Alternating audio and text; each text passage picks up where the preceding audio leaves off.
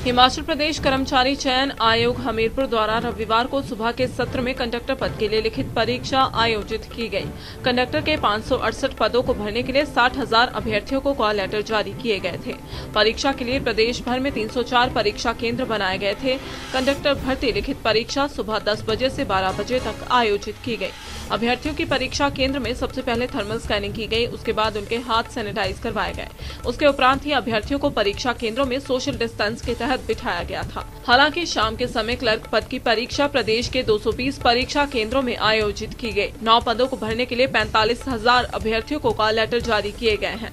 Clerk परीक्षा शाम दो ऐसी चार बजे तक आयोजित की गई मॉर्निंग इवनिंग दो शिफ्ट है। मॉर्निंग में कंडक्टर्स का था।